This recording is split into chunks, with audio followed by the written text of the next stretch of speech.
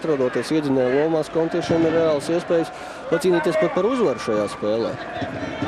Šeit vēl viens izšakos ceļgājiens. Un 2-1! 2-1 Višņakovs. Lūk, cik veiksmīga maiņa. Aleksandrs Višņakovs atkal mums priecē. Viņš jau aizpagājušajā sezonā šķiet ļoti labi uzspīdēja virslīgā. Pagājušā sezona viņam nebija tik veiksmīga.